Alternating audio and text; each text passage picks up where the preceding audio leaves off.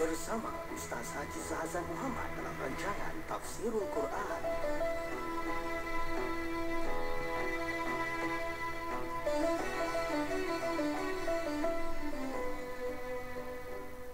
السلام عليكم ورحمه الله وبركاته ان الحمد لله نحمده ونستعينه ونستغفره ونعوذ بالله من شرور أنفسنا ومن سيئات أعمالنا. من يهده الله فلا مضل له ومن يضلل فلا هادي له. وأشهد أن لا إله إلا الله وحده لا شريك له وأشهد أن محمدا عبده ورسوله. يا أيها الذين آمنوا اتقوا الله حق تقاته ولا تموتن إلا وأنتم مسلمون. يا أيها الناس اتقوا ربكم الذي خلقكم من نفس واحدة وخلق منها زوجها وبث منهما رجالا كثيرا ونساء. واتقوا الله الذي تساءلون به والأرحام. إن الله كان عليكم رقيبا. يا أيها الذين آمنوا اتقوا الله وقولوا قولا سديدا. يصلح لكم أعمالكم ويغفر لكم ذنوبكم. ومن يطع الله ورسوله فقد فاز فوزا عظيما. أما بعد. Saudara penabi Ustaz Mahdi Syarudin Sedang mendengar yang Allah sekalian bersyukur kita kepada Allah Subhanahu Wa Taala. Menyambung kembali kuliah tafsir ini Mursi ayat ke-119. Masih lagi daripada surat Taubah. Iaitulah Allah Subhanahu Wa Taala A'udzubillahi minasyaitanir rajim. Ya ayyuhalladzina amanu taqullaha wa kunu ma'as sadiqin. Wahai orang-orang yang beriman Bertakwalah kamu kepada Allah dan hendaklah kamu bersama dengan orang-orang yang benar. Anugerah penerimaan taubat dalam dalam ayat yang ke-118 itu telah kita bincangkan kerana tiga orang sahabat ni mengamalkan apa yang dipanggil sebagai prinsip dalam hidup. Berprinsip, ada pendirian. Ka'ab bin Malik, Hilal bin Umayyah dan juga Mararah bin Ka'ab bin Rabi' Banyak riwayat yang telah kita huraikan berkaitan dengan kisah Ka'ab dan teman-teman itu. Kesimpulannya, Ka'ab dan dua orang temannya menyedari kesalahan mereka. Bahkan bila ditanya oleh Nabi SAW tentang alasan tidak ikut ke Tabuk, jujur, Ka'ab mengaku tidak ada alasan. Lalu Nabi telah pun memerintahkan kaum muslimin boykot mereka, memulaukan mereka. Tidak ada yang boleh berbicara dengan mereka. Bahkan isteri-isteri pun turut dilarang juga, melainkan kepada Hilal bin Umayyah yang sudah tua ini maka dibenarkan isterinya untuk memasak, menyediakan makanan, membasuh pakaian, menjemur, lipat dan sebagainya. Yang lain tidak dibenarkan langsung. Diminta untuk pulang kepada keluarga masing-masing. 50 hari hukuman itu berlalu dan akhirnya turun ayat pengampunan kepada Allah Subhanahu Wa Taala. Kemudian Allah puji dalam ayat yang ke-19 kita telah kaitkan dengan skop yang lebih luas bagaimana nak bina dalam diri anak-anak jati diri yang berasal kepada prinsip benar ini, jujur. Bagi kita orang tua yang dewasa pula kata Syekh Abdul Rahman Hassan Habanaka Al-Maidani dalam prinsip pembinaan akhlak tu kalau kita perhatikan sedari ini mulia Allah sekalian bermula dengan tawajuhun nafs ada prospek ikuti dengan ragbah ragbah ni maknanya kehendak kemudian baru datang alhamu alhamu ni kalau melibatkan dosa maka tidak dikira oleh Allah Taala. Penyayangnya Allah kepada kita maka kalau berniat nak melakukan satu perkara tidak lagi dianggap berdosa. Seperti hadis riwayat Ibnu Abbas dalam Bukhari dan juga Muslim. Berkaitan dengan Al-Isra wal Mi'raj Inna Allah Ta'ala kataba al-hasanati wa sayyiat Thumma bayyana dhalik Man hamma bi hasanatin falam ya'malha Katabaha Allah Ta'ala indahu hasanatan kamilah Wa in hamma biha fa'amilaha Fakatabaha Allah Ashra hasanatin ila sab'imi'ati Da'fin ila adha'afin kathirah وإن هم بسيئة فلم يعملها كتبها الله عنده حسنة كاملة وإن هم بها فعملها كتبها الله سيئة واحدة Hadis sahih ini Nabi telah menjelaskan Allah telah menulis kebaikan dan juga keburukan Dosa dan pahala Siapa yang berniat untuk melakukan kebaikan Belum dapat melakukannya Maka Allah telah tulis di sisinya satu kebaikan. Kalau dia berniat diikuti dengan perbuatan Maka Allah tulis 10 Dilipat gandakan sampai 700 Sampai lebih dari itu tapi kalau dia berniat untuk melakukan kejahatan Dia belum mampu melakukannya Maka Allah telah untukkan untuknya satu pahala. Kalau dia berniat untuk melakukan kejahatan Diikuti pula dengan tindakan Maka baginya hanya satu dosa sahaja ha, Ini berkaitan dengan Alhamu Jadi bila niat untuk melakukan keburukan Tidak lagi dikira sebagai dosa. Sampailah dia melakukan. Buatan tersebut hanya ditulis satu. Tapi Kalau dia berniat untuk melakukan kebaikan Once dia niat saja Sudah dikira pahala. Allah tajawaza an umati ma waswasat bihi suduruha Ma lam ta'mal bihi au tatakallam. Allah Taala mengampunkan umat ini, umatku daripada apa yang dibisikkan oleh hatinya. Selagi dia tidak belum melakukannya dan belum lagi dia berbicara tentangnya, kalau berbicara dah jadi dosa. Kemudian yang keempat, datang al-irada al-jazimah. Al-irada al-jazimah ni maknanya kehendak yang kuat, kukuh dalam diri. Sebab kita perhatikan kisah yang dikemukakan oleh Allah SWT bukan kebetulan. Kisah ni ada kaitan dengan apa yang sedang kita fokuskan.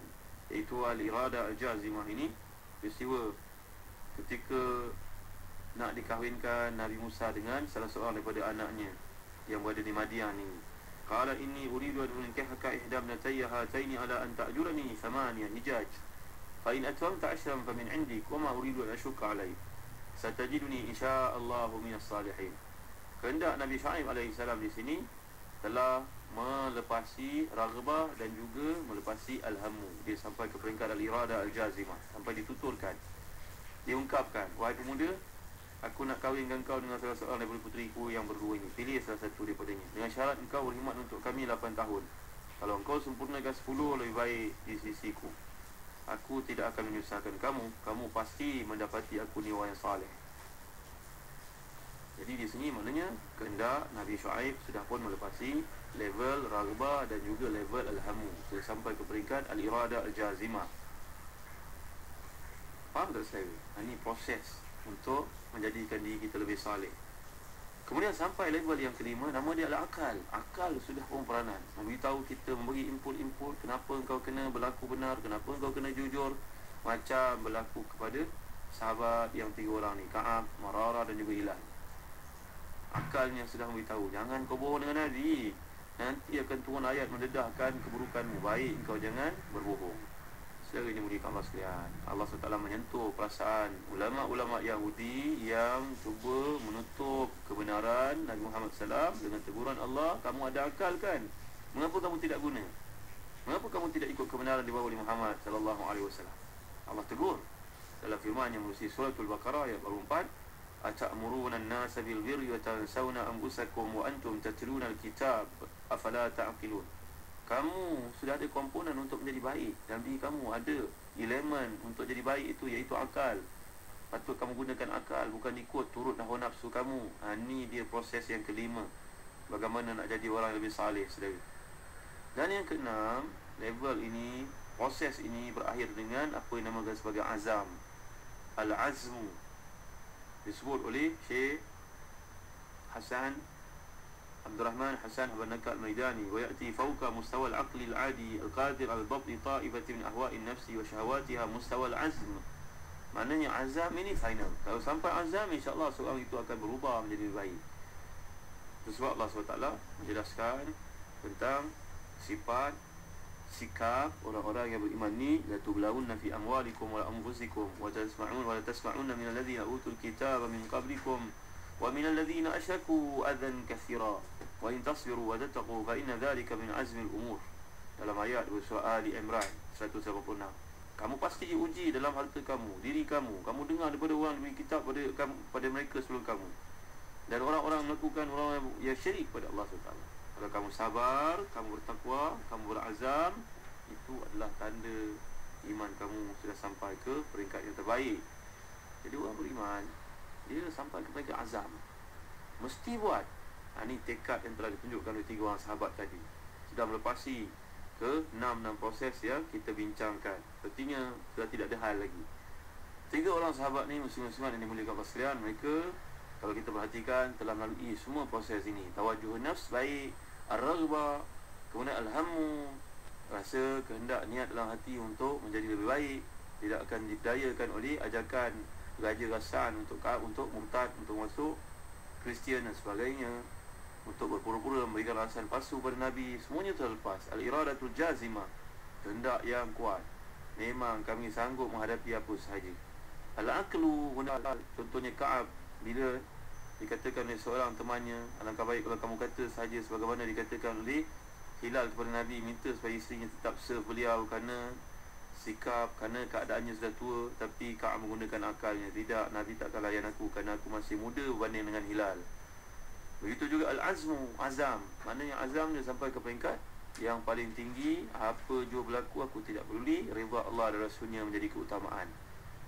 Sekali dimuliakan Allah sekalian. Proses ini kalau dilalui oleh setiap manusia dia akan jadi memiliki akhlak yang baik.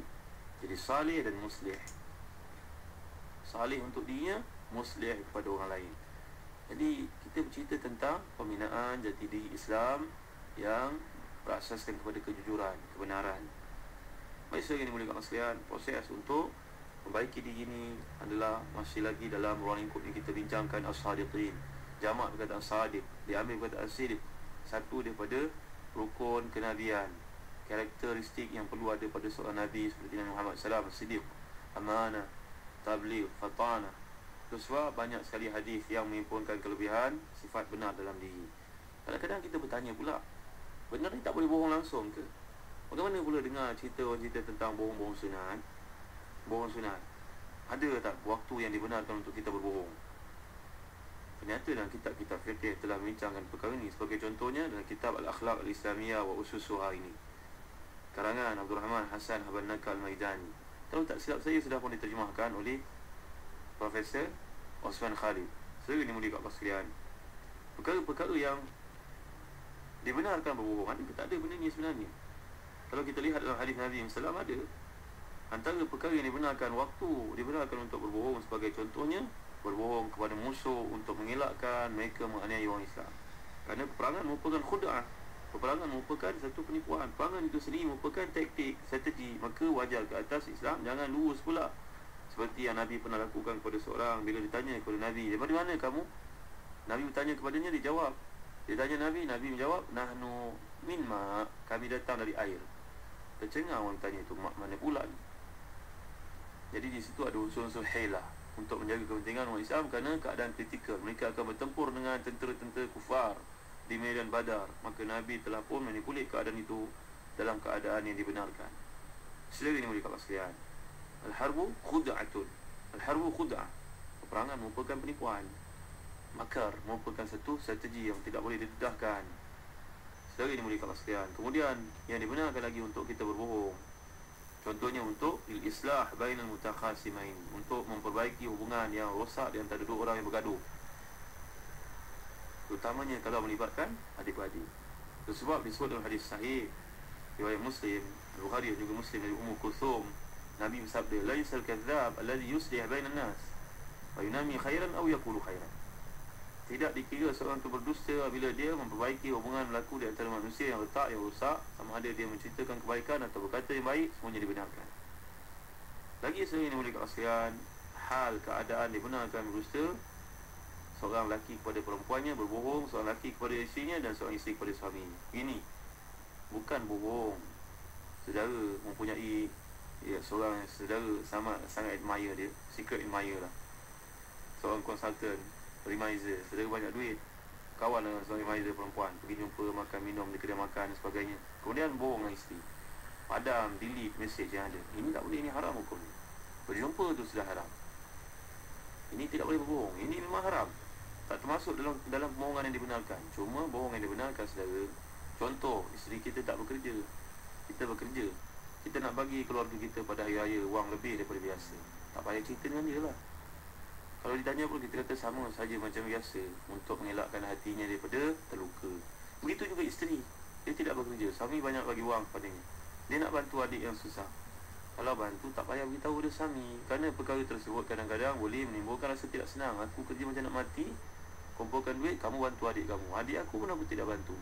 Mengelakkan benda seperti ini dibenarkan untuk kita ada hilah Tapi setiap darurat itu ada kadarnya. Jangan digunakan sewenang-wenang gunakanlah ia sebagaimana garam digunakan dalam masakan. Tanyalah kepada ahli ilmu. Ambil kesempatan untuk berdamping dengan mereka lebih lanjut. Kalau digunakan berlebihan rosak makanan kerana masin yang melampau-lampau. Saya ini Allah sekalian ini antara keringanan yang diberikan dalam Islam. insyaAllah ada peluang nanti kita sentuh lebih lanjut dalam kuliah-kuliah akan datang. Allahu alam. Sallallahu ala sayyidina Muhammad وعلى آله وصحبه وبارك وسلم. والحمد لله رب العالمين. وبارك الله فيكم.